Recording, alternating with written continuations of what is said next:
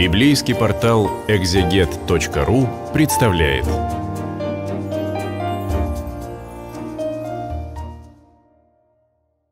Шестая глава второй Маковейской книги. Мы ее читаем в переводе под редакцией Нины Брагинской для библейского портала «Экзегет». Ну вот, э, главы до сих пор, до пятой включительно, они рассказывали нам о том, что творится в Иерусалиме. И э, ну, творится множество всего нехорошего, причем обратим внимание, что главная эта причина, она в самих иерусалимлянах. Сначала был первосвященник Кония, праведный человек, которого убили, но убили почему? Потому что его отстранили от власти другие люди и, собственно говоря, обвинили его перед царской властью. А потом соперничают за эту должность два человека, Менела и Ясон, оба, кстати, носят греческие имена, это важная здесь деталь. И, э, ну, оба негодяи, по сути дела. Они уже воюют за этот Иерусалимский храм, но для того, чтобы просто его использовать как свой собственный ресурс, побеждает в конечном итоге Менелай, он э, позволяет царю Антиоху ограбить этот храм и, в общем, ничего не пытается противопоставить. То есть, грубо говоря, все внешние э, бедствия, они приходят после того, как народ сам Э, сознательно абсолютно отказывается от своего э, благочестия, от своего какого-то традиционного образа жизни, ну а дальше он уже становится добычей э, царской власти, окрестных народов и так далее. Какой же может быть ответ? Вот сейчас на рубеже 5 и 6 главы этой самой второй Маковейской книги все очень плохо. Вот хуже некуда. Царская власть видит Иерусалим как э, такую, знаете, вот занозу, которую надо выдернуть. И, в общем, царская власть уже не, не стесняется никак. Если сами иерусалимляне друг с другом воюют, то что ж не навести там порядок, не перебить их всех, не привести все это к какому-то единому знаменателю. А тем более, что и, э, и первосвященник, в кавычках первосвященник, хотя официально так он назывался Ясон, там уже устраивает э, антиохию, такой эллинистический город со всеми своими правилами. Ну, надо просто довести дело до логического конца, считает царское правительство, и эм, просто вытравить вот эту память о каком-то своем особом боге, какие-то свои культы, обычаи. Э, лучше всего сделать это силой, потому что по-другому они действовать не умеют. Вот шестая глава описывает, как это все началось. Немного времени спустя царь Антиох Эпифан послал одного старца Афинина, чтобы тот заставил иудеев отойти от отеческих законов и от общежительства по законам Бога. То есть э, вот в служении Богу и э, в отношениях между собой забросить это законодательство. А также осквернить храм в Иерусалиме и назвать его храмом Зевса Олимпийского, а храм в Аргоризине храмом Зевса Гостеприимства, что подходило жителям этого места. Здесь имеется в виду два храма, но э, второй это на горе Горизем, где самаряне жили. Ну и программа царского правительства Антиоха, она предельно простая и понятна. Сделал так, чтобы, собственно, вот все было эллинистическим. Как везде, и для этого уже недостаточно такого внешнего налета, а нужно искоренить культ Господа. Всех тяготило отвратительное распространение порока. Ведь храм наполнился распустом, разгулом язычников, развлекавшихся с блудницами, исходившихся к женщинам в священных дворах и к тому же вносивших внутрь непотребные вещи. А жертвенник был завален приношениями запретными, неназволенными законами. Ну, свинина, например, да, то, что греки употребляли в пищу и использовали для жертвоприношений. Невозможно стало не отдыхать в субботу, не соблюдать отеческие праздники, не даже попросту называться иудеем. Каждый месяц, день рождения царя, их силком привозили из внутренности жертвы, а на Дионисиях заставляли в венках из плеча участвовать в шествиях в честь Диониса. Смотрите, день рождения царя отмечали каждый месяц не раз в год, а раз в месяц. И это же государственный праздник. То есть э, народ угощают, приносят жертву, и всех кормят этой жертвой. Отказаться значит э, проявить неуважение к царю. По почину жителей Птолемаида было издано предписание иудеям в открытых эллинских городах вести такой же образ жизни и вкушать идола жертвенное, жертву, принесенную идолом. А те, кто не согласится оставить свои обычаи ради эллинских, убивать. Вот когда стало ясно, что надвигается беда. То есть э, до сих пор все еще ничего, хотя бед было много. Убийства, грабежи и так далее. Но оставалась возможность быть иудеем. А вот все, больше ее нет. Теперь просто за то, что ты говоришь «я иудей», тебя убивают. Привели двух женщин за то, что они обрезали своих детей. Обрезание, естественно, это знак завета, это первое, что происходит э, с ребенком, а потом с мальчиком, а потом это же заметно, да, то есть это нельзя скрыть в отличие там от тайной молитвы. С младенцами, которых повесили у них на шее, этих женщин водили на показ по городу, а потом сбросили со стены а другие собрались в пещере поблизости, чтобы тайно отпраздновать седьмой день, то есть субботу. Но о них доложили Филиппу, наместнику Селевкидскому. Они были сожжены, ибо благоговея перед самым священным днем они не решили себя защитить. То есть их просто перебили, как баранов каких-то, да, они э, ничего не, не готовы были сделать.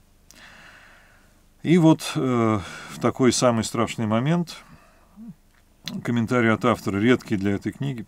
Прошу читателя этой книги не падать духом из-за несчастья, а напротив считать, что кара послана не для погибели нашего рода, для иудеев, но для его воспитания.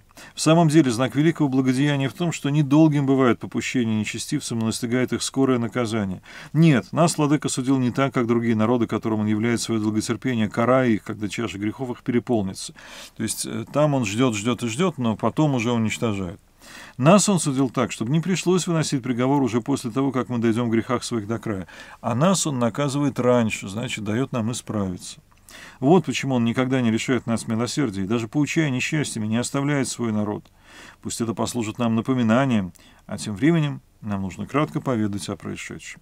Вот э, его богословие здесь очень ясно видно. Да, наш народ мучают, пытают и убивают. Сколько здесь можно всего сказать на тему, а какие э, нечестивцы эти греки, как ужасно они себя ведут. Это будет все совершенно справедливо. Но он говорит, э, есть Бог и есть наш народ, остальное обстоятельство. Вот мы впали в нечестие, Бог нас исправляет. Да, очень жесткими мерами.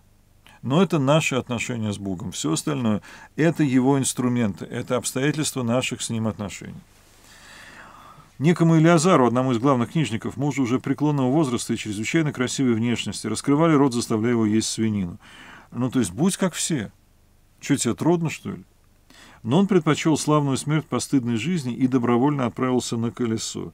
Это еще и наказание. Э, колесо, эм, ну, не буду, наверное, рассказывать подробно, как тогда э, казнили на этих самых колесах. В общем, это еще и мучительная смерть. После того, как выплюнул свинину, как и подобало твердо решившемуся цены жизни, отвергнуть то, что вкушает запретно. То есть ему сели, раскрыли рот, всунули в рот кусок свинины, а как только отпустили, он выплюнул. Те, кому была поручена беззаконная жертвенная трапеза, знали этого человека с давних времен. Отозвав его в сторону, они стали предлагать ему принести с собой мясо, какое ему подобает употреблять в пищу, заранее приготовленное им самим, и притвориться, будто по приказу царя он ест мясо с жертвенной трапезы, чтобы избежать таким образом смерти и воспользоваться человеколюбием, вызванной старой с ним дружбой. Но если попросту э, они понимают, вот мы тут свинку забили, принесли в жертву, там, я не знаю, Аполлону, Дионису, кому-нибудь еще, и все ее кушаем. Ты тоже с нами покушай, пожалуйста. Ты не хочешь? Ладно, не надо. Принеси с собой свою баранину, или что там у тебя есть, э, сядь с нами за один стол и поешь своей еды. Мы даже не будем тебя заставлять есть свинину. Да, казалось бы, это можно, ему ничего плохого не предлагают. Но он принял превосходное решение, подобающее его возрасту, величию старости, заслуженным и славным его сединам и достохвальному поведению с самого детства, но прежде всего святому и Богом данному законодательству. Отвечаем, сообразно всему этому, он сказал, чтобы его без промедления отправили в Аид, ну, то есть убили. Нашему возрасту ведь не подобает лукавить, иначе многие молодые, узнав, как перешел к чужеродным обычаям 90-летний Элиазар, и сами, глядя на мое притворство ради краткой мимолетной жизни, впали бы по моей причине во грех, а я заслужил бы мерзкую, гнусную старость. Даже если сейчас я избавлюсь от людской кары, руки вседержителя мне не избежать ни живому, ни мертвому. Поэтому мужественно расставаясь сейчас с жизнью, окажусь достойным своих преклонных лет. А юным оставлю благородный пример, как добровольно и благородно принимать смерть за честные и святые законы. С этими словами он без промедления взошел на колесо. То есть, смотрите, э, они ему предлагали сделать вид, что он ест свинину, принесенную в жертву языческим богам, на самом деле не есть. Но ведь если бы он сделал вид, другие бы поняли так, что он съел – Значит, э, нарушение закона не только в том, что вот есть какой-то жесткий, четкий формальный критерий, вот свинина и дела жертвенной ее не ем, вот барашек из дома, я его поем, да, но э, это публичное действие. И если так, то даже не важно, что конкретно у него окажется во рту, а важно, как это будет выглядеть. Те, кто проявлял к нему расположение, сменили его на враждебность, потому что слова, которые он произнес, посчитали безумием. Ну, то есть э, жалели старичка, а вот он упрямый, ну и ладно, и тогда и убьем его. Уже готовясь умереть под ударами, он сказал со стоном, то есть его, собственно, забили до смерти на этом колесе, «Ведомо Господу, владеющему святым знанием, что хотя смерти можно было избежать, тело мое терпит под бичами жестокие страдания, а душа им радуется страха его ради. Так он и скончался, и смерть его осталась примером достоинства и памятником добродетели не только для юношества, но почти для всего народа. То есть э, вот у нас первый э, в мировой истории, пожалуй, рассказ о мученичестве.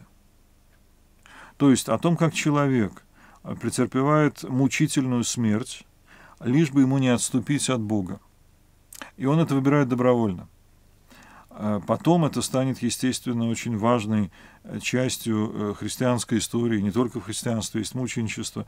Но вот здесь э, этот самый Илиазар – это первый из тех, о ком подобное рассказано. В следующей седьмой главе будет рассказана другая, гораздо более известная история, но вот Илиазар в этой книге, безусловно, имеет пальму первенства.